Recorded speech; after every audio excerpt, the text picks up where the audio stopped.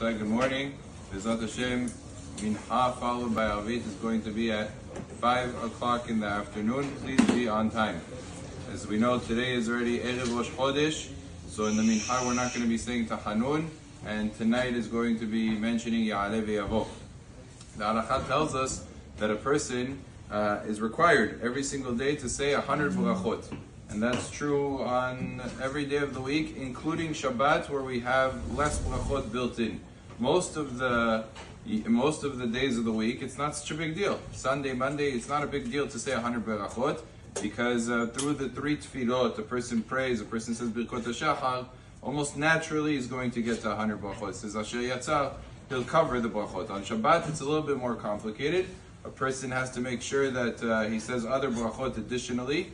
Um, if he wants to say on food, if he wants to say on bisamim, in order to get, there's about 20 brachot that are missing from the daily schedule on Shabbat that a person has to make up.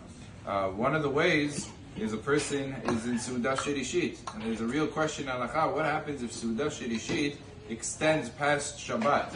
So we know the 100 brachot start from the night and they end at the night. So what happens if it's already past the night, it's Motzei Shabbat, but he's still within Suda Shlishit.